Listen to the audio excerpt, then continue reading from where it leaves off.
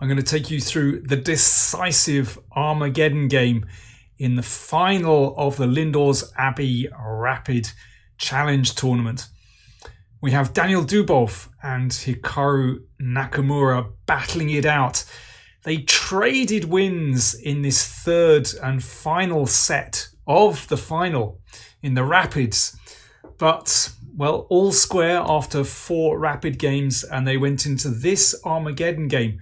Nakamura won the toss and chose to play with black. That means, of course, that if it's a draw, then he would win the final. So Daniel Dubov in a must win situation. Now he switched in this final to playing e4. So that's a change. And he's playing this rather offbeat system with g3. So bishop c5, a, a classical response from Nakamura.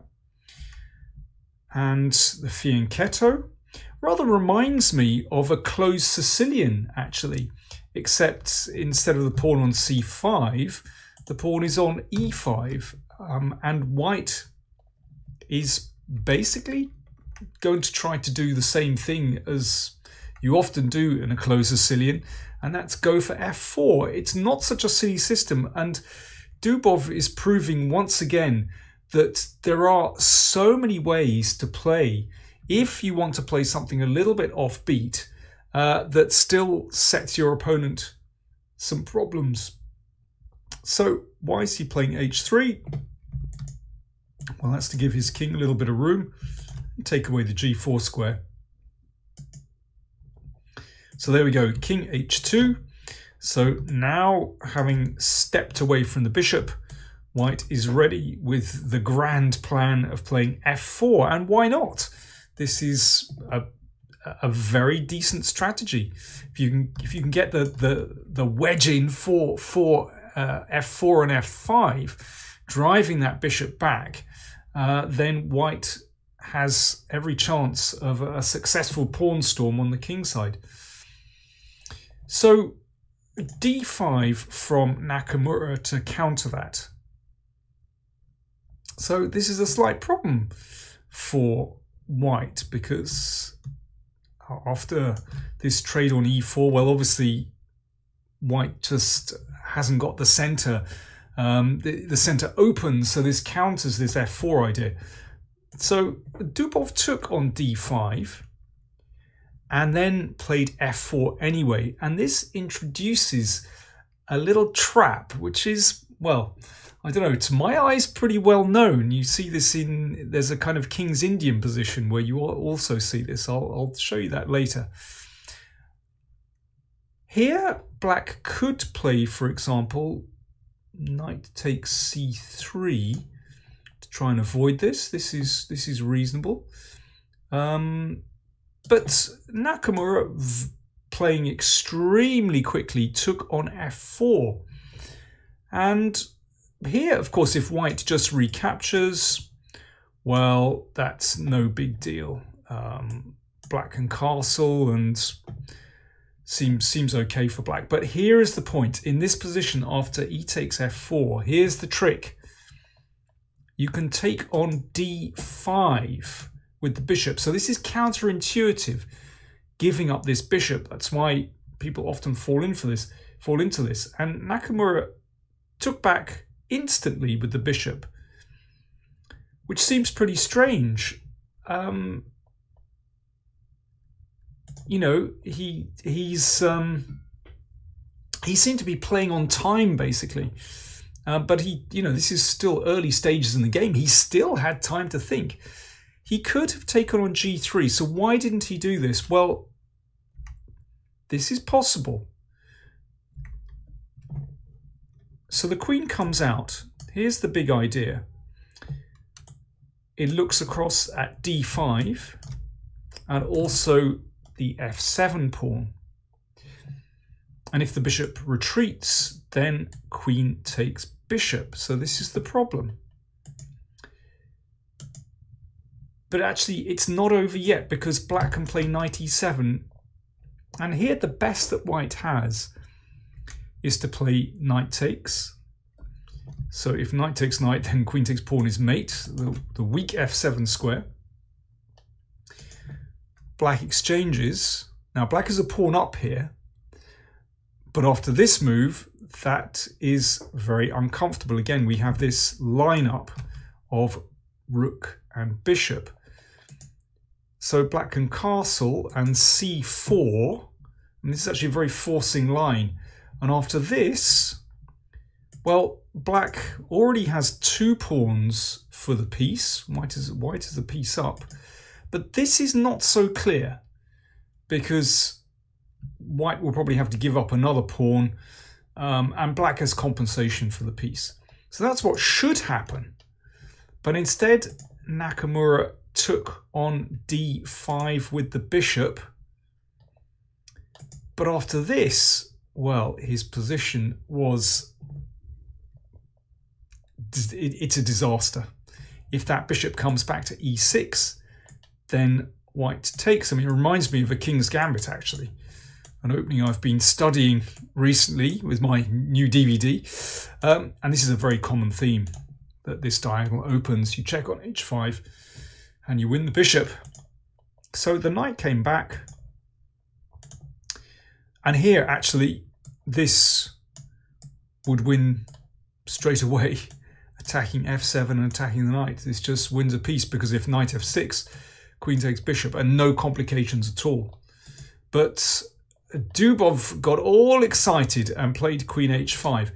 Also very strong, because if g6, then queen e5, and the rook is attacked, and the bishop is attacked. So c6, and this allows Nakamura to hang on. But it's still pretty fantastic for white. So after this one, pawn takes and knight e6. And this looks resignable. Um, all these points are attacked. And if g6, again, uh, let's see this, g6, queen e5. So queen d6, incredibly, black hangs on after pawn, knight takes pawn check, king d7 and rook takes pawn. So what's the score? Well, white is two pawns up with a thumping attack. And in fact, it really is too much for black with bishop f4 coming. Rook f8, bishop f4. Attacking the queen. And if the queen steps aside, then queen g4 check. So rook takes, rook, bishop takes. Nakamura gives up the queen. He's got a rook and bishop for it but it should be winning. But remember, this was a blitz game. It's Armageddon.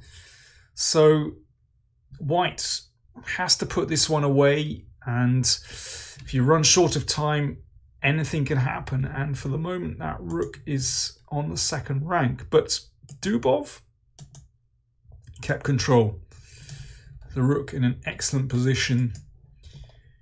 Rook f8, queen g4 check The king finds a little bit of security, but white's piece is still incredibly strong, knight e6. Attacking the rook on f8, the rook steps up, knight d4 check. So after rook e2, basically Dubov is consolidating. This clears up any problems on the second rank. Of course, if the rooks are exchanged, then that makes life much, much easier. So Nakamura avoids that, um, but it looks dreadful. Knight c6, exchanging off that powerful knight on d4, but, well, Dubov reasonably happy to exchange. Important thing is the second rank is covered by that rook. And here it should be a matter of technique. Dubov doesn't panic, but it can still go wrong in a blitz game.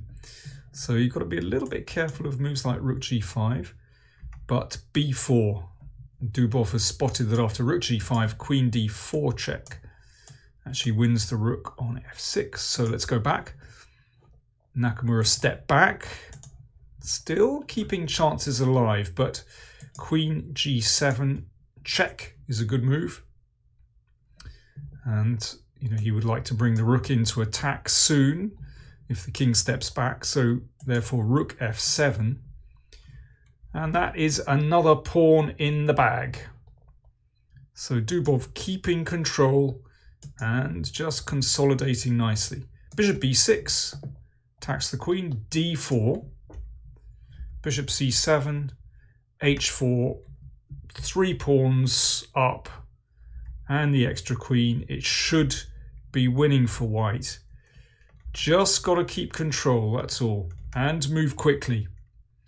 Rook f1, b5. Of course, this is a good move because it starts to open up black's king and creates uh, another target for white's queen and rook. Rook back to f6, takes on c6, queen a6 check, and that picks up yet another pawn Queen takes a4 check. Queen bounces back. It's all going horribly wrong for black. And now the rook moves into the attack. Rook e7 check. Queen b5. And, well, you could take on d5, but Dubov spotted that he could play rook takes bishop check and that was the final move of the game because if king takes, then queen c5 checks and you pick up the rook on f8. And at that point, Nakamura decided that enough was enough, even though Dubov was down to his final minute. Well, that one is pretty easy to clean up. So Daniel Dubov kept his cool and won the Lindores Abbey Rapid Challenge he said that today in this Armageddon he wants to play something something sharp and something strange. Well, he managed to do that with this opening. And he said he felt extra motivation because after Nakamura defeated Carlsen, or in the semi final, well, in fact, before then, uh, Nakamura had proclaimed that whoever wins the match in the semi final would go on to win the tournament. Well, not so fast. Dubov uh, certainly produced some excellent chess on day three of the final. Just coming back to this this trick with f4 and then taking on d5 with the bishop and knight takes f4, which was very strong. In fact, let me just quick compare and contrast. This is actually a well-known trick from a variation of the, well, the modern King's Indian, let me just show you this idea, which you might want to try out yourselves. In this particular variation, and now f5. And here, well, white can play, you can take on c6 or you can play queen d2. But if white plays e takes f5, that is deemed to be inaccurate because black can take the knight and take on f5 and you can see that this bishop has problems and has to come back to e3